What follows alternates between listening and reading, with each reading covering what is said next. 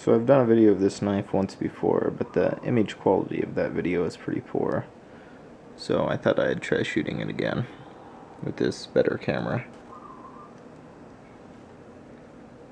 This is an Emerson Roadhouse. Started out as a production knife. It's been worked on by Ferrrk and Tom Krein.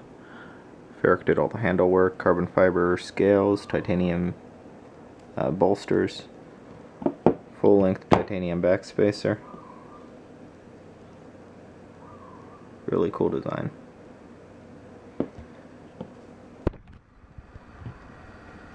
And Tom Krein did the regrind.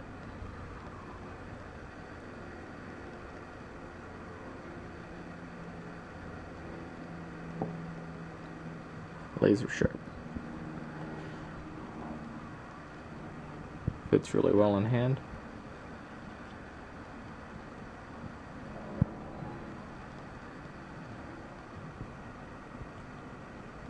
Thick liners.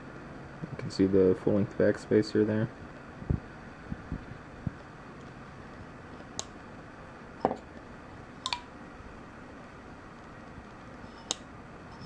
You can hear the solid lockup.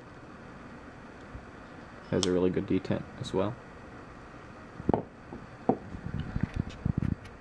Thanks for watching.